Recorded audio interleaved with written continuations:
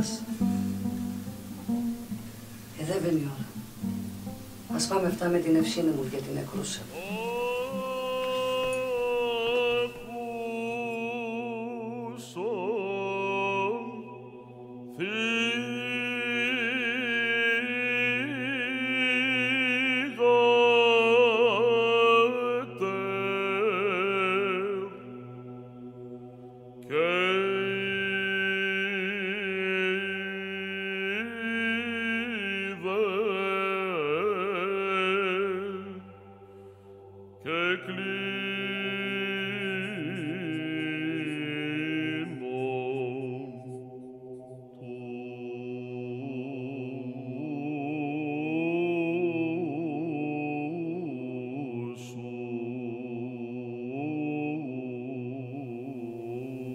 Έναν κερί καλομηνά. Λάζαρος.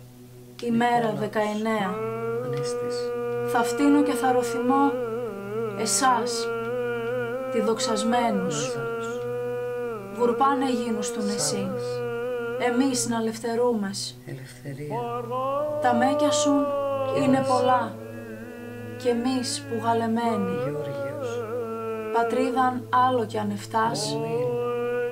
Πατρίδαν έναν ένι.